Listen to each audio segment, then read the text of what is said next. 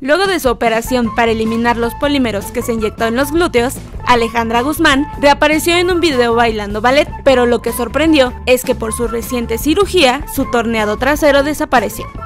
La tensión entre Laura G y Ricardo Casares se hizo presente luego de que un comentario de la conductora enojara a su compañero, quien le contestó muy enojado, y aunque ella trató de cambiar el tema, sus rostros denotaban molestia. De nueva cuenta, Ninel Conde fue el centro de atención en redes sociales, pues en esta ocasión no fue su rostro lo que impresionó, sino un bonito y muy exclusivo bolso que presumió con valor de casi 40 mil pesos.